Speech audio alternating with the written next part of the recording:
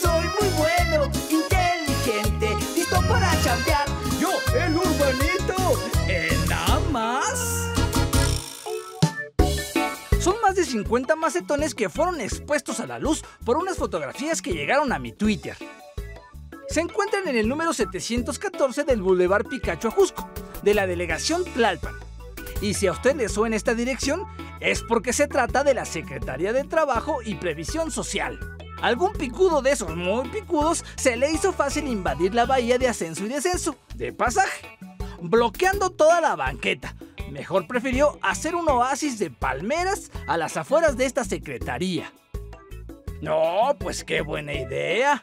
La gente que no tiene los recursos para visitar el conocido Parque de las Seis Banderas que está exactamente enfrente, se viene a divertir en el laberinto de macetones de basura. Que si no son, por lo menos eso parecen. Y pues las personas lo confunden y ahí depositan la suya.